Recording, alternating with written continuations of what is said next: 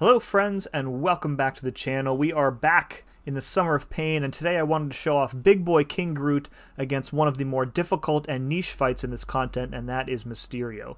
So King Groot's buff came out after this fight was originally released, so I was really interested to see how well he would work for it.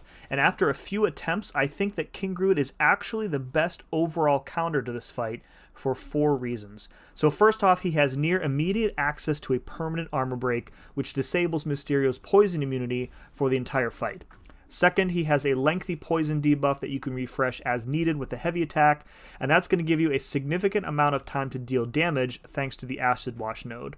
Third, it's safe to push Mysterio to a special 2 in this matchup because King Groot is immune to the power drain, and in some cases it's actually preferable to do this because if King Groot misses an attack during his cooldown, he's guaranteed additional Furies for the next Malice phase.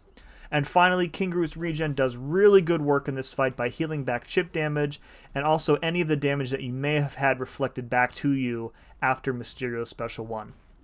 So, although King Groot is really good for this fight, there is a price to pay if you want to use him for the rest of this lane. Rogue is a tricky fight with anyone, and King Groot really doesn't have any special way to counter her, but beyond that, King Groot is really not the best choice for the Grandmaster uh, because of his low crit rate, infrequent access to DOT, and in addition, the rule set on this path doesn't really favor King Groot at all.